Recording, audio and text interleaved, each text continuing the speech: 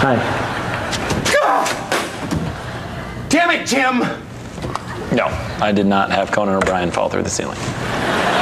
Uh, all right. Okay, I just need someone to tell me how do I get to the Emmys? Wait, wait, wait!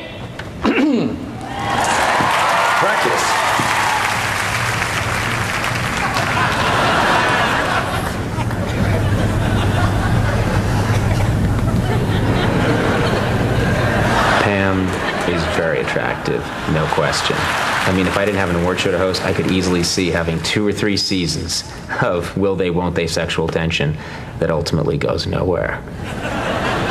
I'm gonna go. I should go, but I'm, I'm sorry.